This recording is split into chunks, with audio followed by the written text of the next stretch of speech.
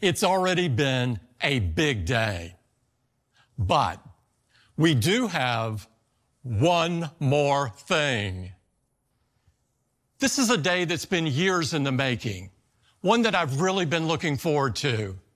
I believe that augmented reality is a profound technology. Blending digital content with the real world can unlock experiences like nothing we've ever seen. So today, I'm excited to announce an entirely new AR platform with a revolutionary new product. And here it is.